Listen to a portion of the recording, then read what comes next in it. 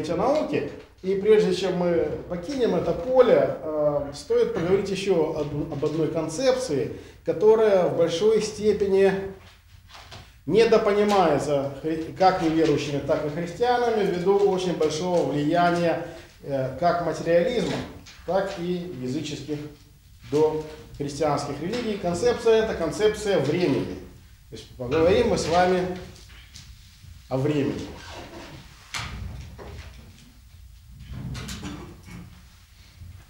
Значит, дело в том, что э, еще когда я учился в университете на физике, то нас физиков в то время учили, что время это одно из свойств материи. Поскольку материализм в качестве его, его божеством является что? Материя. Да, мы говорим, что изм показывает, что является божеством, то божеством является материя, и поэтому все, что есть, это материя, и мысли это материя, и время это материя. То есть все в конечном итоге сводится к материи. Вот. А, ну, пространство с материей легче соотнести, потому что простран... материя в пространстве располагается. Вот. Располагается ли материя во времени? Это уже вопрос очень интересный. Или время в материи располагается? Вот. А, Вообще время существует или нет? Существует Земле. А, мы время обычно а, делим на три категории. Какие три категории существует времени? Прошлое, Прошлое, настоящее, будущее. Это три равные категории по величине или нет? Не, равные, не равные. То есть буд... настоящего столько же, сколько прошлого? Нет, настоящий это вообще миг один. То есть есть... Кайрос. Да, три неравные... Э, значит, есть три категории. Прошлое, настоящее, будущее. Есть только миг между прошлым. О, есть только миг, вот этот самый, между прошлым и будущим. Кстати, что там в песне дальше поется? Именно он называется жизнь. На самом деле, это глубочайшая философская концепция. А прошлое Оно есть или его нет? Было. Так было или есть? Было. Ну как? Есть, конечно. Его можно потрогать. Нет. Не, ну потрогать, ну я-то знаешь, оно было. Но оно в памяти так, у нас есть. Ну, да, у нас есть память. Память. Спору нет. Но реально, как физическое явление, оно есть. Получается так, что оно уходит, да, его нет. Прошлого... Его сразу и нет. Ты как Винни-Пух. Как мед. То есть время, оно очень странный предмет, оно только есть, его сразу нет. Значит, э, э, прошлого уже нет. В памяти вот там у нас это сохранилось, там обломки, там, как у Бродского. Мы оглядываясь, видим тут лишь руины. Взгляд, конечно, очень варварский, но верный. Вот. И э, хорошо, а будущее есть или нет? Будущего еще нет. Будущее еще нет. Так что же у нас тогда есть? Настоящее. И много его у нас? Один миг. Да, один только миг. То есть время, э, само понятие время как таковое, это нечто реально физически несуществующее. Реально существует только одна точка нулевой протяженности, которая называется настоящее. Того, что было до нее нет, того, что было после нее еще нет. Вот. И когда мы начинаем там путешествия во времени, там всякие там измерить назад в будущее, измери машина времени, там, изменитель времени последних христианских Вот. А, интересная такая притча. А, мы понимаем, что это все лишь нечто умозрительное. Когда же мы начинаем говорить о реальных каких-то способах влияния на время, измерения времени, то мы попадаем просак. Именно в такой просак попадали греческие философы, которые... На самом деле идея, что время – это свойство материи, это древняя, довольно философская идея. В том числе она, греческие философы-материалисты ее развивали, начиная с того же самого Лукреция. Вот. И в итоге они приходили к очень интересным таким парадоксам, как, например, парадокс Зенона – Э, э, парадоксы, их называли апории, то есть высказывания, содержащие в себе нераскрытые, нераскрытые противоречия, нераскрываемые. Вот. Например, такая апория Зенона, как э, апория о движении. Зенон сказал, что движения не существует. Потому что в каждый конкретный момент времени летящая стрела находится в определенной точке пространства. И таким образом то, что мы называем движением, э, является ничем иным, как последовательностью состояний покоя. Э, Рассказывает, что его оппонент, когда он, с точки зрения Зенона, значит, э, объяснял, э, просто встал и начал ходить вокруг. Вот. И когда Зенон спросил, что ты ходишь, мешаешь, сказать, я не хожу, движение же не существует. Вот. э, И у раннего Пушкина в подражании Ломоносову даже стихотворение есть на эту тему. Движение нет, сказал один мудрец известный, другой что там встал и начал ходить, лучше не мог он возразить, я не помню. Точно такой четверостишье вот, в стиле Ломоносова. Вот. э, Другая апория Зенона называ- называлась э, Ахиллес. Ахиллес, герой, полубог, получеловек, самый быстрый, самый сильный, гонится за черепахой. В некий промежуток времени Ахиллес пробегает половину оставшегося расстояния между ними. Черепаха за это время чуть-чуть двигается. За следующий промежуток времени он пробегает половину оставшегося, оста- э, оста- нового оставшегося расстояния. Черепаха еще чуть-чуть двигается. За следующий промежуток времени пробегает половину еще чуть-чуть оставшегося. И таким образом можем рассуждать бесконечно, и Ахиллес черепаху никогда не догонит. Вот. а Все эти ошибки были именно потому, что э, языческие философы неправильно понимали, что такое время. Время на самом же деле это способ, а, э, э, это не какое-то свойство, а это способ наблюдения. Время выполняет функции измерения длительности процессов, а также дает нам возможности усмотреть, какой из э, событий предшествует, является предшествующим, какой последующим, дабы мы могли видеть причинно-следственную связь между ними.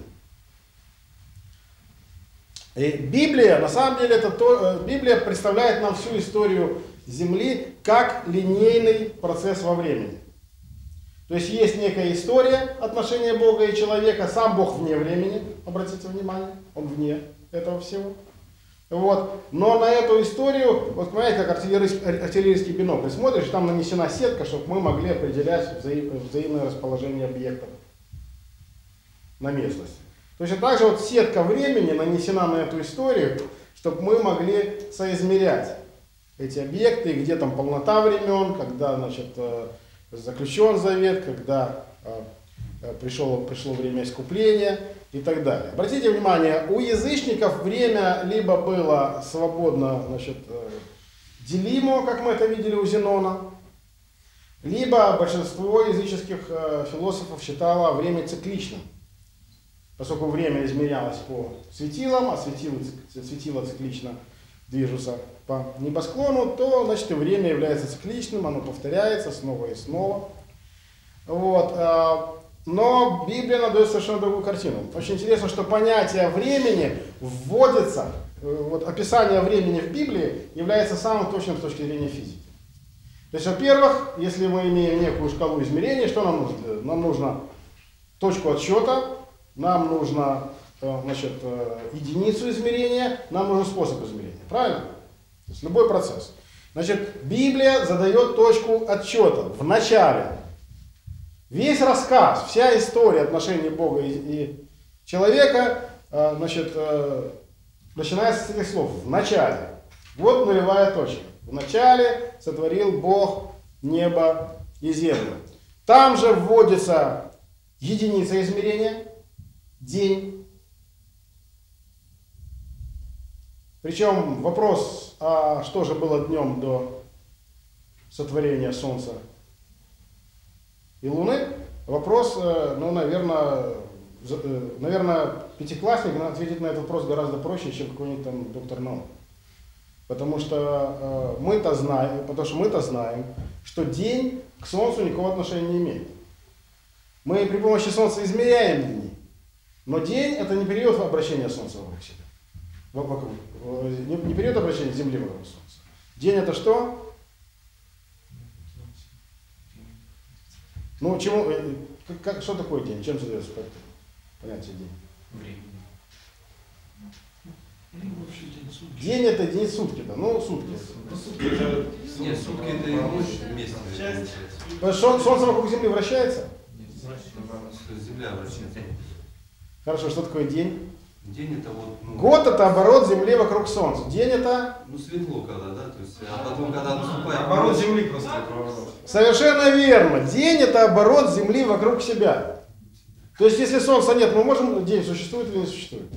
Существует. Существует. Мы его, изме- мы его не можем измерить без Солнца. Потому что нам нужна какая-то, какая-то значит, это самая шкала вне нас чтобы для измерений. Но день это оборот Земли вокруг себя. Поэтому то, что Солнце создается и Луна только лишь на четвертый день, это никаким образом не мешает дню быть с самого На начала. крайнем севере, когда полярная ночь, они-то без солнца существуют. Ну, День это все равно так же проходит. два дня проходит. Два дня. Да, поэтому, поэтому значит, эскимосы победили в соревновании, кто больше сзади не ловит рыбы. Что у них день длился полгода. Вот. Значит, итак, э, итак, вводится единица измерения, день, а дальше говорится, вводится способ измерения. Как мы этот день будем измерять? Как раз Бог на четвертый день говорит, да будут светила на тверди небесной, для отделения для от ночи, и знамений, и времен, и дней, и годов. Под знамениями, кстати, здесь понимается в виду не мистические знамения, чудесные, а знаки, когда проводить священное собрание. Вот это слово, вот впоследствии для проведения священного собрания. То есть вот по, по- почему по евреи Пасху празднуют по лунному календарю. У нас Пасха гуляет то, то в, один- то в одно время, то в другое, потому что э, светило для знамений, то есть для определения времени священного собрания даны. Вот. э, э, День – это, как мы уже видели, это период обращения Земли вокруг себя. И от наличия светила он никоим образом не зависит. И далее а, понятие времени применимо лишь к материальному миру. Вне материи, пространства, энергии движения времени применимо. И вечность это отсутствие времени. В книге Откровения мы читаем Ангел, которого я видел стоящим на море и земле, поднял руку свою к небу и поклялся живущим во веки веков, который сотворил небо и все, что в нем, и землю, и все, что на ней, и море, и все, что в нем, что времени уже не будет.